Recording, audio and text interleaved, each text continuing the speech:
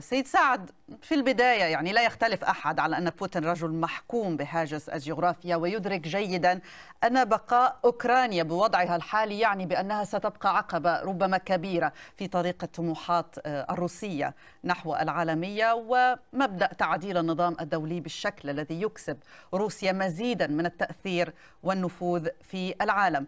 إلى أين يمكن أن تصل هذه الطموحات برأيك؟ وهل روسيا بالفعل بصدد إحياء الثنائية القطبية وتريد هذا بالفعل؟ يعني بداية مساء الخير لك أستاذة جمانة وللضيف الكريم وللسادة المشاهدين واسمح لي في البداية أن أعلق قليلا على ما قاله الضيف الكريم وعلى ما ذكرتيه أنت في تقديمك لهذه الحلقة إذا تحدثنا من منطلق مصطلحات العلاقات الدولية والقانون الدولي.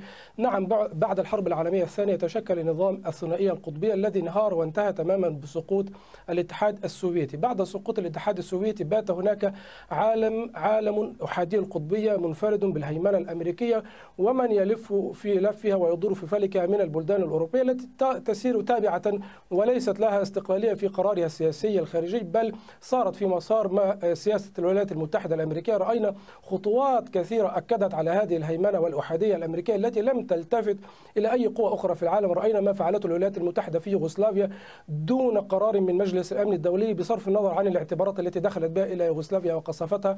رأينا حرب العراق وكيف دخلت الولايات المتحدة إلى العراق دون قرار من مجلس الأمن الدولي أيضا وبتبريرات واهية ودون أن تلفت الانتباه لمعارضة حتى بعض القوى الأوروبية الكبرى. فرنسا ألمانيا مع روسيا هذه الحرب وحينها جاك شيراك والرئيس الفرنسي وكذلك المستشارة الألمانية وكذلك الرئيس الروسي. عارضوا هذه الحرب ومع ذلك لم تلتفت الولايات المتحدة لهذه المعارضة ودخلت إلى حرب العراق ودمرت العراق. وكلنا نتذكر ما فعلته في العراق رأينا ما فعلته في أفغانستان أيضا على الرغم من أنه كان هناك بعض التوافق فيما يتعلق يتعلق بعملية أفغانستان لأنها جاءت مباشرة بعد أحداث الحادي عشر من سبتمبر.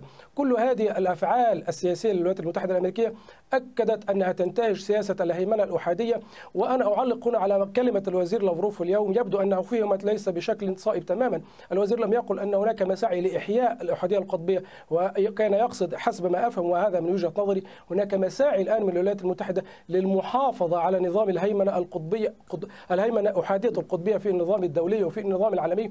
وهذا ما يثير كل هذا الهلع والهوس الأمريكي وهذه الهستيريا الغربية والأمريكية فيما نراه طيب. الآن في صراع أوكرانيا، أوكرانيا هي مجرد ورقة تلعب في هذه في هذا الصراع صراع الجيوسيات صراع الاستراتيجيات الكبرى صراع صراع الجيوبوليتيك الكبير. يعني بالنسبة لبوتين هي ليست طموحات توسع كما ذكرت وليس هوس جغرافيا. روسيا دولة كبرى. روسيا تبلغ مساحتها الآن أكثر من 18 مليون طيب دكتور سعد أين روسيا الآن من ذلك النظام العالمي؟ هل يمكن القول بأنها